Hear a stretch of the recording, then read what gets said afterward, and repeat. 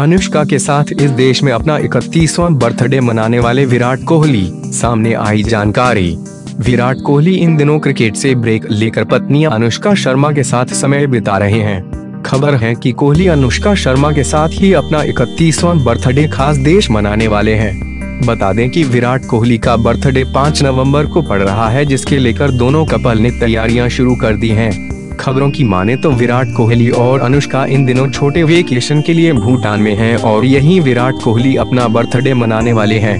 गौर करने वाली बात रहती है कि विराट कोहली की वापसी टीम इंडिया में 14 नवंबर से होने वाली है जब टीम इंडिया बांग्लादेश के खिलाफ टेस्ट सीरीज़ खेलेगी।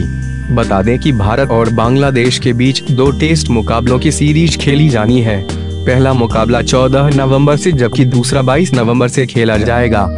टीवी सीरीज़ में टीम इंडिया को विराट कोहली की कमी खलती दिख रही है और यही वजह है कि भारतीय टीम ने बांग्लादेश के खिलाफ पहला टीवी भी सात विकेट से गंवाया है।